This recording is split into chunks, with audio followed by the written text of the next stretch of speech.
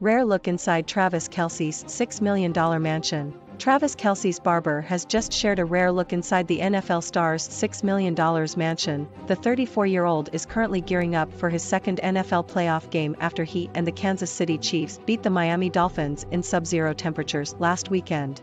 Ahead of the divisional round playoff game, Travis is getting a fresh new haircut by his longtime friend and barber, Patrick Regan.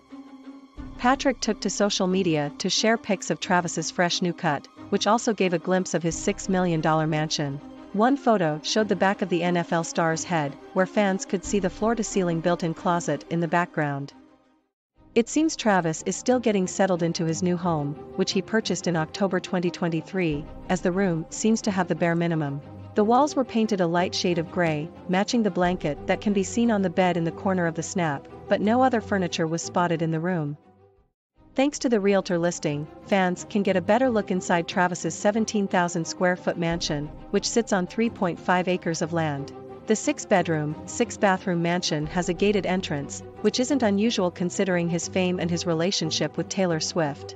It isn't surprising that the two would want some privacy in the $6 million mansion.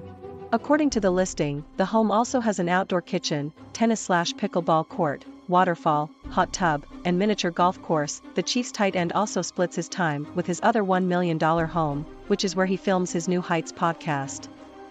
In addition to the bedroom photo, Patrick Regan also shared a photo in what appeared to be the NFL star's living room, with a gigantic Christmas tree in the background.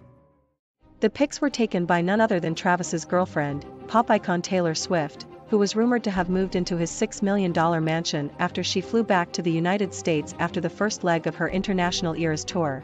Thanks at Taylor Swift for the pics of the game day Freshie 4 at Killatrav, he wrote in the caption of the carousel of photos.it seems Taylor, Travis, and Patrick are all getting along as over the weekend, Patrick shared a selfie of himself and Taylor to his Instagram story.